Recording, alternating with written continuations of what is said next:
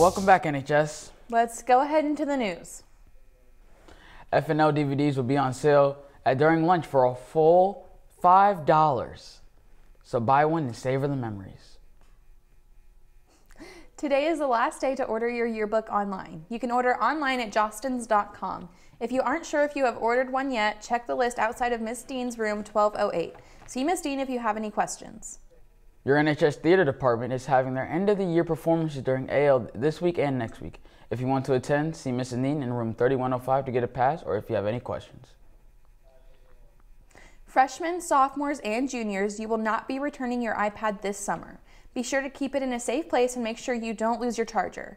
Seniors, your iPads will be collected on the last day of school at the conclusion of the Block 3 final. If you do not have a Block 3 class, your iPad will be collected after your last scheduled final. You will return your erased iPad, the case, keyboard, and charging brick. You will not need to return the cable. Please check Canvas for more details. The Random Acts of Kindness Club is running a drive for a local nonprofit organization called Prevail. Join them in donating notebooks, snacks, and stuffed animals and more. Donation box can be found in Student Services and Guidance. Email Kylie underscore Whipple underscore 2018 at nobl.k12.ns.us with any questions. Two more weeks. And 13 more days. Goodbye, NHS.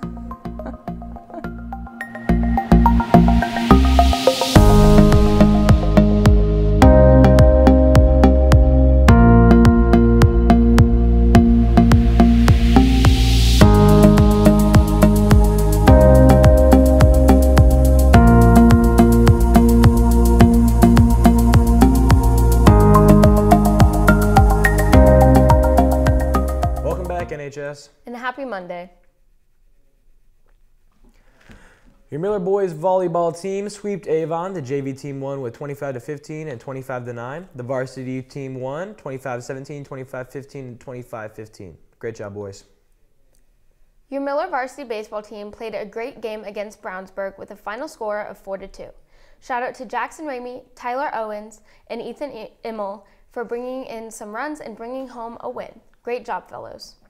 Your Miller boys track team had an all right performance at conference. People who did well were Drew Herman, who placed second in high jump with a jump of 6 feet 4 inches, Samari Rogers, who had placed third in long jump with a jump of 21 feet 4 inches, Matt Ogle, who had placed eighth in 300 meter hurdles, Devontes Cox, who placed fifth in the 400 meter dash, and the 4x400 meter relay team who had won their race. Good job, fellas, and catch them back in action this Thursday at sectionals.